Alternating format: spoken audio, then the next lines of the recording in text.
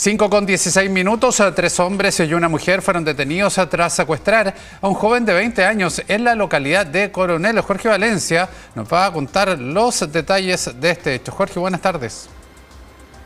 Buenas tardes, Cristiana. Nuevamente Coronel hace noticia y esta vez es por un secuestro que ocurrió ayer a eso de las 10.30 horas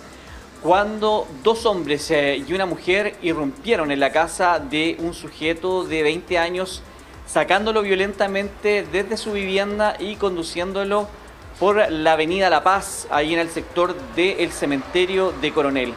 Una cámara de seguridad vecinal registró lo que estaba ocurriendo, se puede ver incluso en este registro, en esta cámara, en estas imágenes, se ve como una mujer aparentemente lidera este grupo de personas y amenaza, entendemos, con un arma. No sabemos si es un arma cortopunzante, un arma de fuego a este hombre de 20 años y lo llevan por alrededor de tres cuadras, unos 300 metros, caminando para conducirlo hacia un vehículo. Una vez que el hombre llega a este vehículo, lo habrían trasladado a la comuna de Lota. En las imágenes que fueron captadas por las cámaras de, seguridad, este registro muestra, como te decía, cómo esta mujer amenaza a este hombre cómo es escoltada por dos sujetos, incluso un grupo de perros se acerca a ladrarle,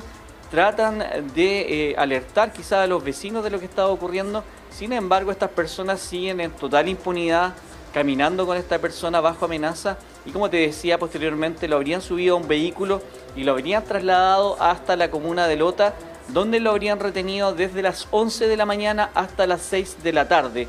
desde ese lugar, desde un restaurante, la feria de Lota del sector La Feria, habrían llamado a la madre de este, de este hombre de 20 años y le habrían solicitado algún tipo de información que ellos estaban buscando. Y es en este contexto que la madre de esta persona hace la denuncia en carabineros y se activa inmediatamente un plan eh, de las policías para poder rescatar a esta persona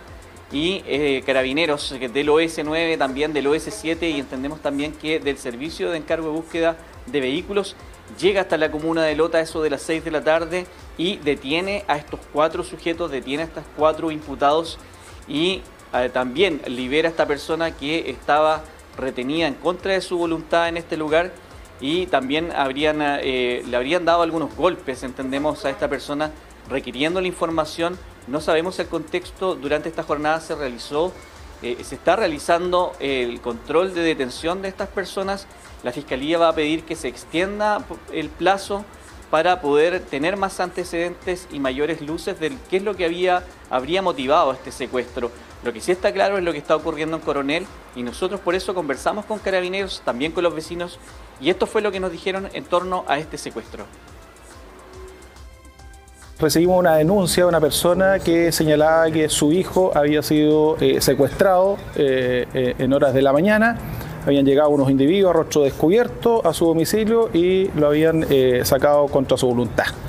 se logró la detención de cuatro personas y obviamente eh, la recuperación de esta, de esta, persona que se encontraba secuestrada en, relativas condiciones de salud, me refiero a que tenía algunos golpes, pero en general bastante bien. Esa información que se está investigando sobre algún grado de extorsión de información para que pudiera entregar la, la víctima con respecto a un hecho que se, que se habría cometido días anteriores.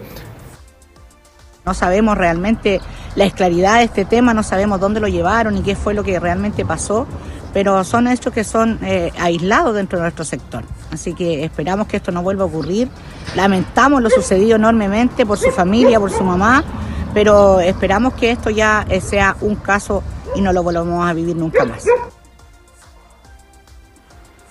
Cristiana, ahí estaban, ¿no es cierto?, las declaraciones tanto de las policías como también de los vecinos y eh, lo que está ocurriendo en Coronel es bastante decidor. Tres muertes la semana pasada, nosotros reportamos al menos uh, dos de ellas. Eh, una que ocurrió el miércoles pasado, un joven de 17 años acribillado en la vía pública. Después el domingo otra persona también con cuatro balazos y posteriormente ya en la tarde del domingo un hombre con más eh, de 30 heridas cortopunzantes, tres fallecidos, o dos en total en lo que va del año.